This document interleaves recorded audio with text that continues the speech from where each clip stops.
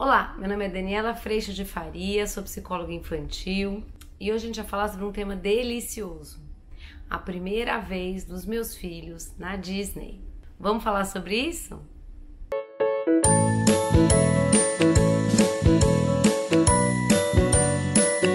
Oi, gente, hoje a gente vai falar sobre esse tema que quando a gente tem a oportunidade de viver com os nossos filhos pela primeira vez, Muitas vezes é a primeira vez dos pais também.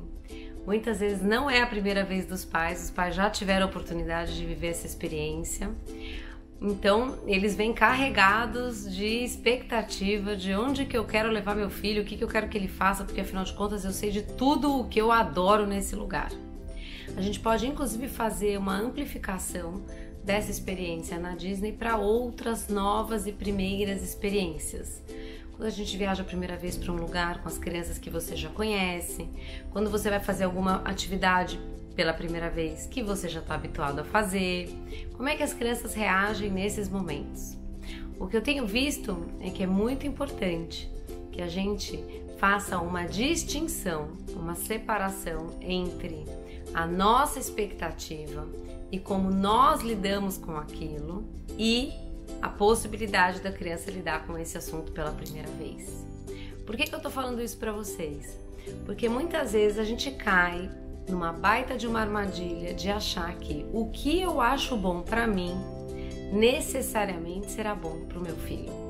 E na hora que eu penso assim, eu sou capaz de levar a criança para situações onde ela, por não ter vivido o caminho que eu vivi, às vezes não vai estar tá pronta, então, se a gente for pegar o exemplo, seja de alguma atividade, seja uma tirolesa num parque ou mesmo as atividades da Disney, a gente vai perceber que existe uma graduação. Ou seja, a criança ela começa encontrando os personagens, ela vai andar em brinquedos muito suaves, ela vai ver todo esse mundo da fantasia, por exemplo, na Disney, para que depois ela consiga ir numa primeira montanha-russa pequenininha, ela consiga ir no alto, no Dumbo, por exemplo, para que depois ela vá é, incrementando o nível de desafio com relação a esses estímulos que a criança recebe.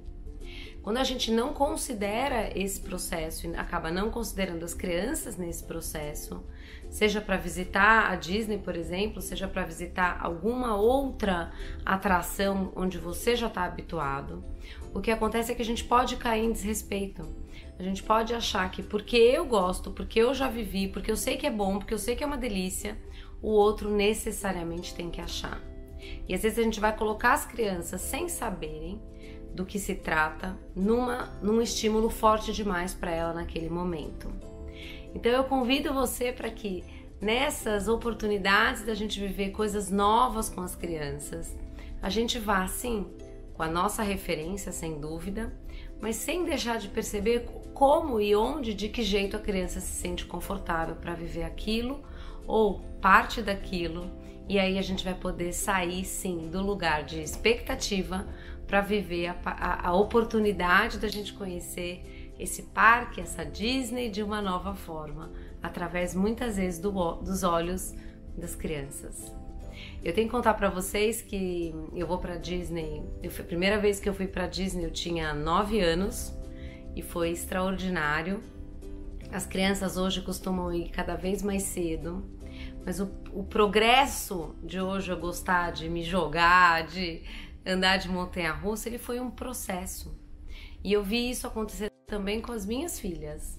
As minhas filhas hoje têm 14 e 10 anos e elas praticamente foram andar em montanhas russas fortes há dois anos atrás. Então, uh, o tempo de cada, de cada um e o processo de cada um, mesmo em situações muito felizes, como fazer uma viagem, fazer. É, de repente descer um rio de corredeira, de repente fazer uma tirolesa, ou mesmo atrações mais estruturadas como parques de diversões, é muito importante que a gente respeite este processo. Quando esse processo não é respeitado, o que acontece é que muitas vezes as crianças criam sim uma resistência porque elas passaram medo frente a um estímulo muito grande e aí elas se negam a ir nos brinquedos. E aí a gente fica muito frustrado, muito chateado, porque a gente, afinal de contas, foi até o parque, seja Disney ou qualquer outro, investiu, se programou, a gente sabe o quanto é bom. Como que essa criança não tá sabendo, não tá aproveitando como deveria? Quando a gente entra no como deveria, a gente está colocando expectativa antes da oportunidade de viver a situação, a relação, o parque, os estímulos, de acordo com o que é possível com o que está respeitando a zona de conforto e de desconforto de cada um. Esse processo é gradativo, ele sim vai se desenvolver, mas é muito importante a gente perceber que cada criança tem uma forma de responder muito ligada ao seu perfil de comunicação, por exemplo. Então imagina que é, vão haver crianças que vão falar, calma, eu preciso pensar, não sei se eu quero uma, uma criança que normalmente tem um nível de análise mais alto, um nível de paciência mais alto, ela não tem pressa de decidir nada. E se a gente pressionar para decidir, às vezes a gente está entrando em desrespeito. E vai haver aquela criança que fala: Não, vou experimentar. Porque ela sabe que ela pode gostar ou não gostar, mas ela a, a vontade de, de experimentar tá falando mais alto. Óbvio, com toda a segurança, com todo o seu entorno sendo cuidado. Respeitar como os nossos filhos funcionam, inclusive em momentos de diversão, faz parte desse encontro vivo e rico que a gente passa a viver em todos os momentos. E a diversão também traz esse desafio para nós, principalmente quando a gente já sabe que aquilo é muito bom e muito legal. A gente pode entrar sim em um lugar de bastante desrespeito. O vídeo de hoje foi esse. Eu espero que quando você vá passear, você vá descobrir algo novo, você saiba que esse mesmo frio na barriga que a gente sente frente a algo novo, as crianças também sentem. E quanto mais a gente puder acolhê-los nesse momento, mais abertos eles estarão para as experiências. Quando a gente pode dizer para eles é ruim mesmo, a gente não sabe o que, que tem lá dentro, não sabe se vai gostar, não sabe que sensação é uma sensação de não ter controle. Essa sensação ela é difícil mesmo mas a gente pode ver como é que a gente se sente é, juntos. A gente pode viver essa experiência juntos. O vídeo de hoje foi esse. Eu agradeço primeiramente a Deus por toda a paz no meu coração e alegria para viver esses momentos e todos os outros. E agradeço a sua presença também. A gente se vê na próxima. Tchau!